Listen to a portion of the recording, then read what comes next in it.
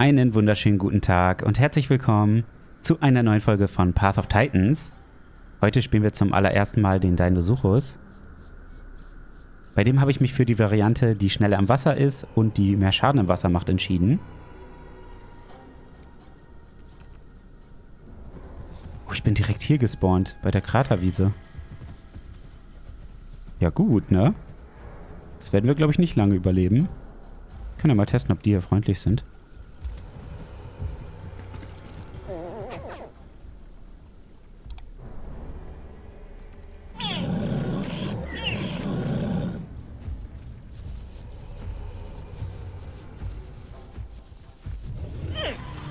Aua!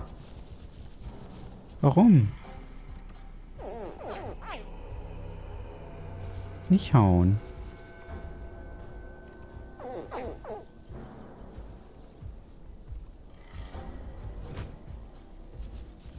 Er will mich nicht.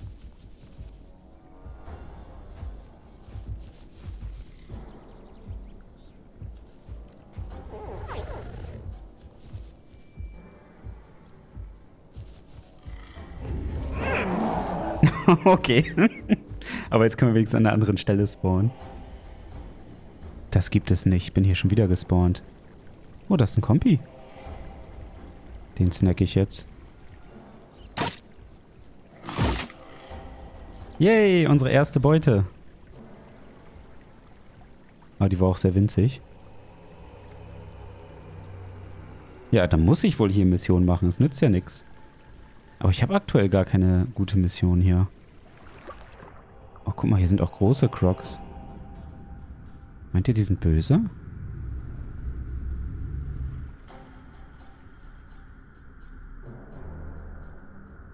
Das sind voll viele große Crocs.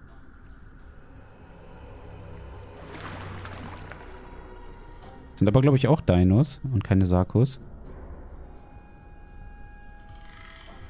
Ja, cool. Vielleicht kann ich mich denen auch anschließen, wenn das geht. Wirklich geklappt. Und dann sind wir jetzt nicht mehr allein.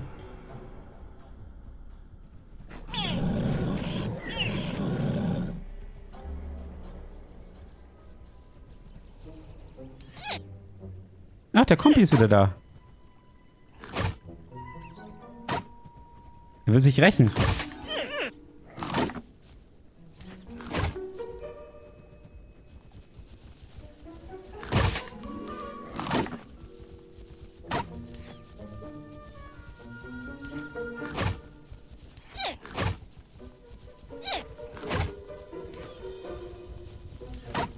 Geh mal näher ans Wasser.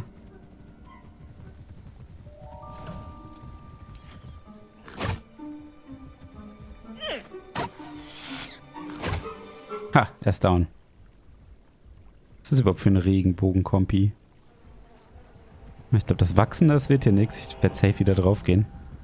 So viel wie hier los ist. Oh, da greift den Terry, glaube ich, an. Jetzt kommen sie alle.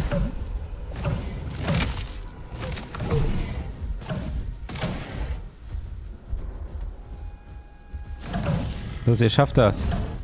Sind ja quasi meine Stiefeltern.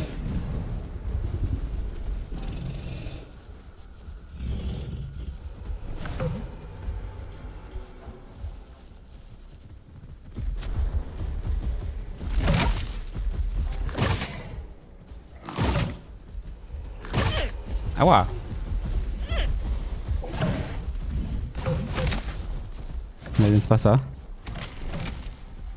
Da wurde ich gehackt. Aber die Teris machen viel Schaden. Ich glaube, meine Stiefeltern haben auch echt Probleme.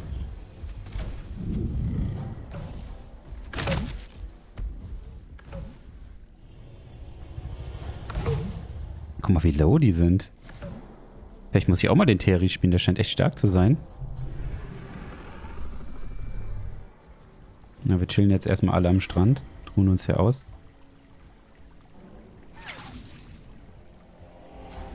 Und er trägt irgendwas umher. Ich wusste gar nicht, dass das geht. Das ist ja cool. Ja, der kommt jetzt wieder da. Und ich bin tot.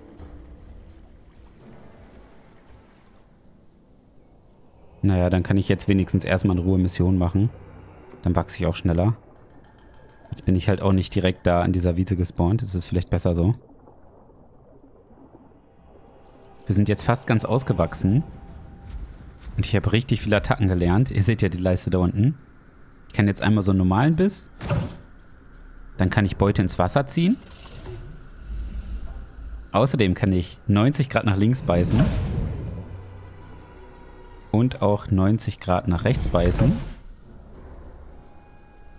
Und das Ganze kann ich auch 180 Grad, also nach hinten. Einmal links. Und auch einmal rechts. Und dann können wir noch eine Todesrolle. Das können wir aber nur, wenn wir Beute im Mund haben und im Wasser sind. Damit können wir, glaube ich, die Ausdauer von der Beute entziehen. Ich komme übrigens unfassbar langsam mit dem Dinosaurus vor. Also sogar im Wasser.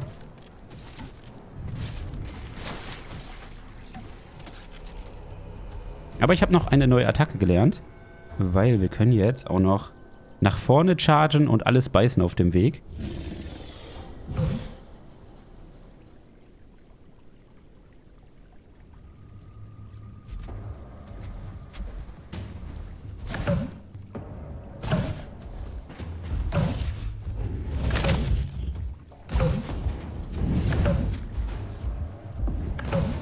Er ist natürlich viel wendiger als wir.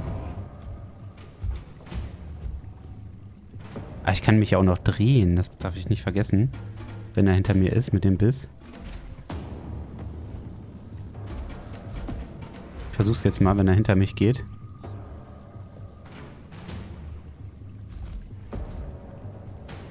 Er flüchtet halt nur.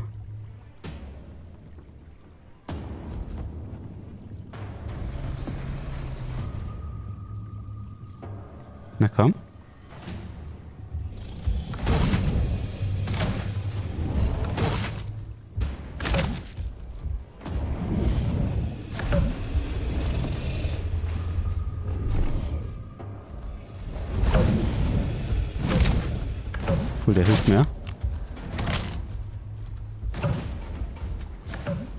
Einfach aus dem Nichts.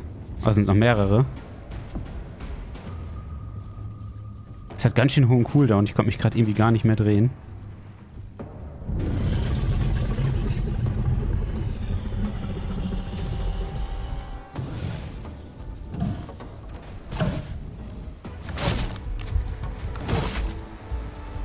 Ah, wir haben ihn fast noch bekommen.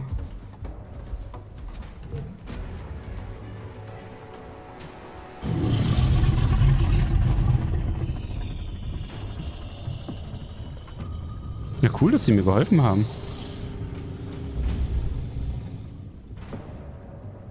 Oha, was ist das denn für einer? Soll ich den mal angreifen? Lad mal meinen Biss auf.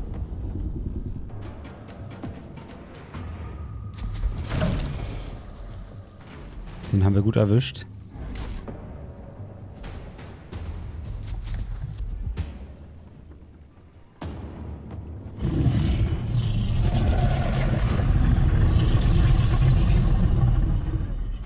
Der sieht echt seltsam aus, oder?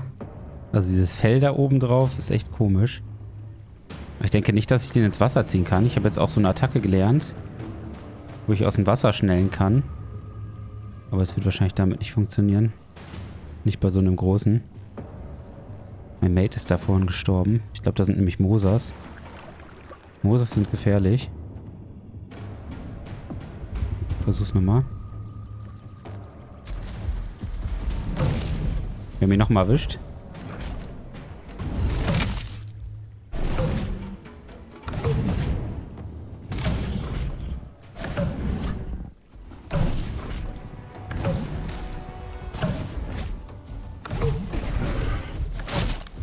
Er stirbt leider nicht. Ist gerade noch weggekommen.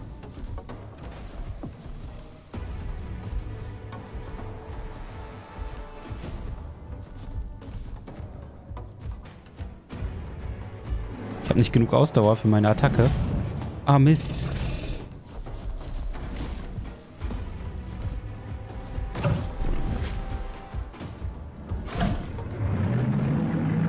Oh, da haben wir ihn.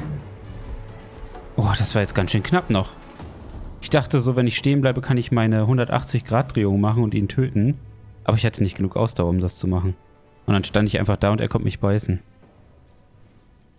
Naja, ist ja alles gut gegangen. Da muss ich echt drauf achten mit der Ausdauer. Das Problem ist halt, wenn man am Land sprintet, verbraucht man so unfassbar viel.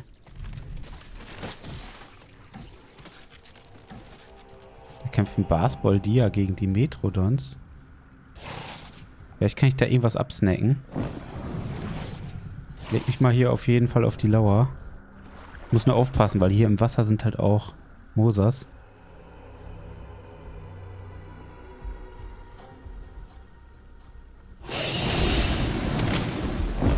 Haben wir einen. Sehr, sehr gut. Jetzt machen wir die Todesrolle.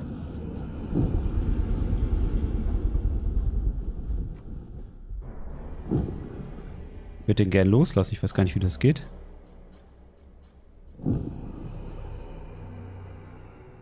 Ich habe leider gleich keine Ausdauer mehr.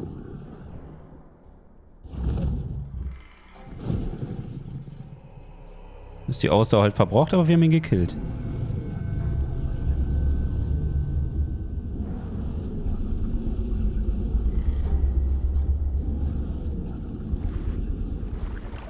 Oh nein. Müssen aus dem Wasser die Mosas kommen.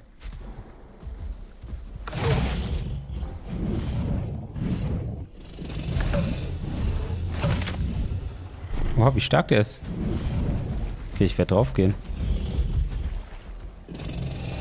ich habe keine Ausdauer mehr. Der Tail ridet mich halt jetzt einfach. Aber der macht mir voll viel Schaden, hätte ich nicht gedacht.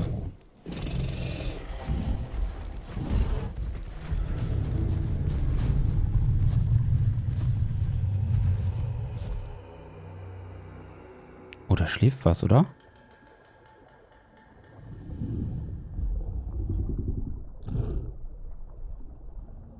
Ein Moser, glaube ich.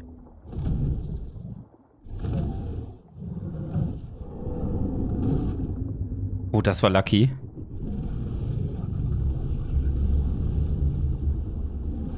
Weil ich glaube, so im Kampf habe ich fast keine Chance gegen den, weil der viel, viel zu schnell ist. Der kann halt immer wegschwimmen, dann seine Charge-Attack da machen und auf mich drauf. Ich bin halt super langsam im Wasser. Ein Teno, oder? Glaube ja. Ah, ich bin verfehlt.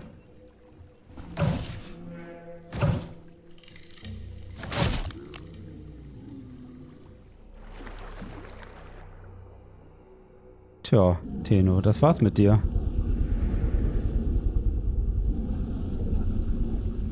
Oh, da vorne wäre nochmal ein Dimetrodon. Ich können wir den ja überraschen. Wenn er hier nochmal durchschwimmt oder so vielleicht? Der muss ja hier wieder zurück.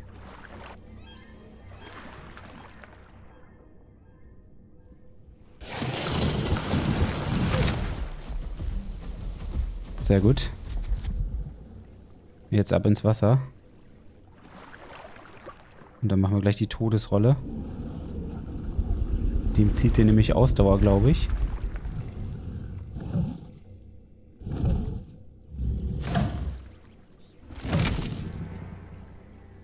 Das hat doch sehr gut funktioniert.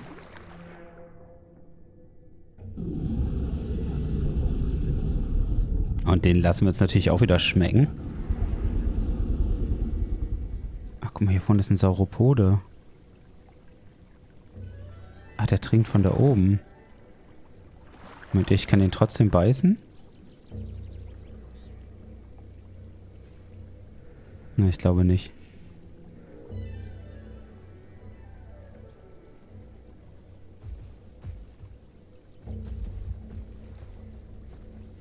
Ja, krass, dass er von dem Felsen hier trinken kann.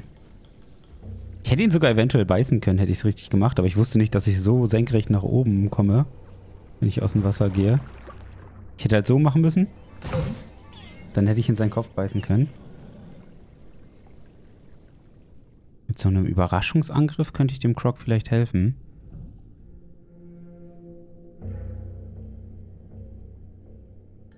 Ich glaube, ich werde es mal versuchen.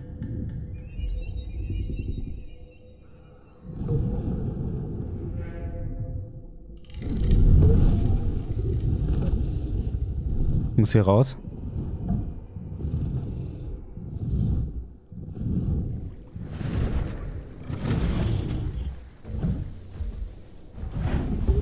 Aber ihr seht ja, wie schnell der Moser ist. Er hat mich halt rechtzeitig bemerkt. Deswegen konnte ich nicht mehr viel machen.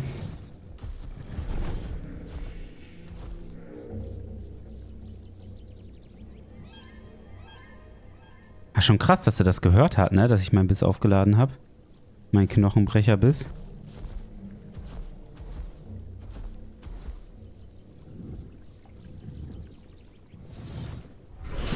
Oh, da ist noch ein Croc.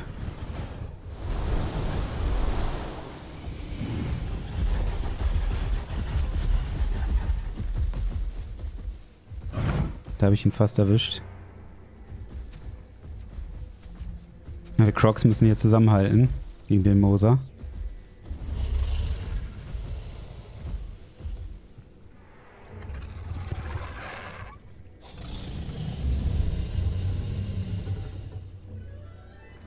Oh, ich glaube, die haben den schon. Jetzt gehört das Gewässer wieder uns.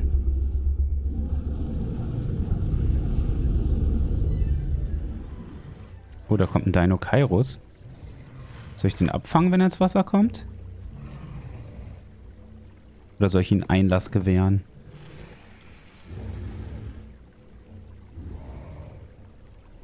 Er wird von den ganzen Kleinen da angegriffen. Ich lasse ihn rein ins Wasser.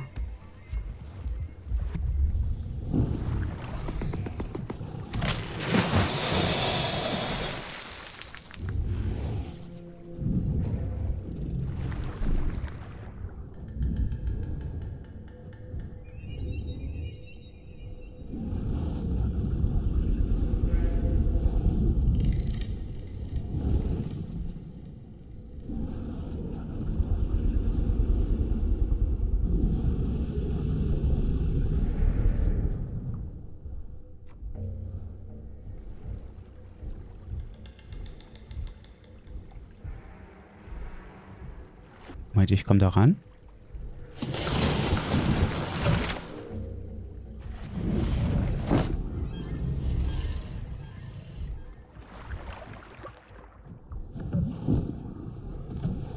Holt ihn euch. Sehr schön.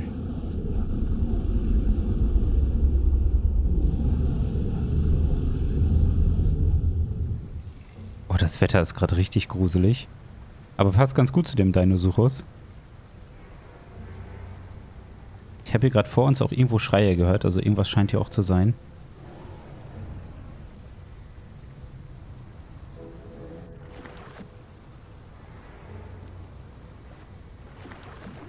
Den holen wir uns.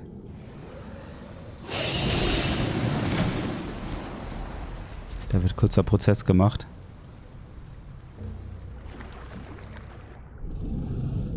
Todesrolle. Und nochmal.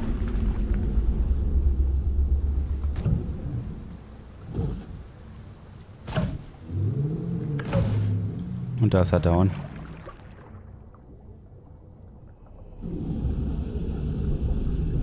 Ich weiß gar nicht, was das hier für ein Tierchen war.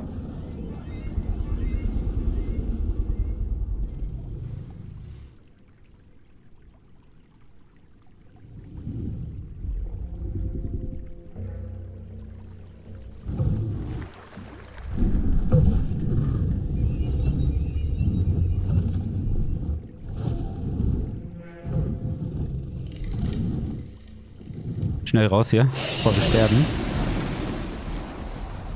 Der kann uns halt echt facetanken, obwohl ich einen Knochenbrecherbiss gegeben habe. Der Mosasaurus ist echt stark.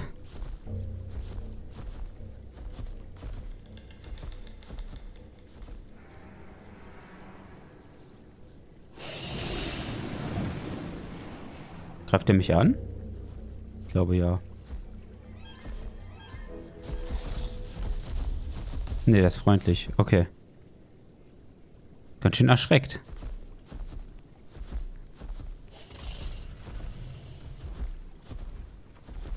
Wir haben halt den Moser hinter uns.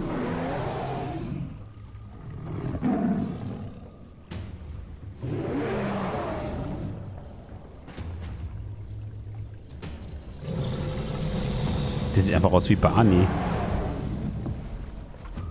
Lila mit grünen Pünktchen.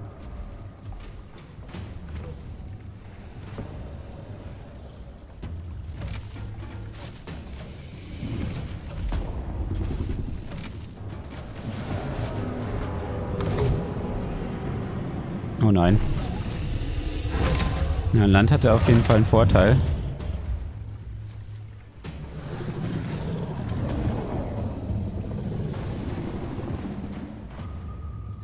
Was machen denn die anderen da hinten?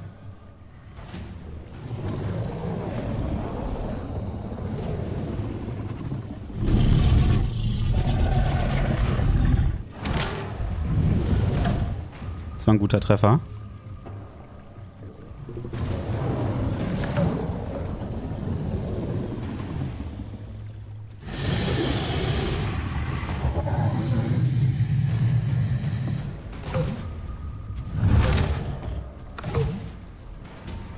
Der Schweifhieb macht kaum Schaden, das ist ganz gut. Hol ihn dir. Oh, schön. Ich glaube, er hat ihn die Knochen gebrochen.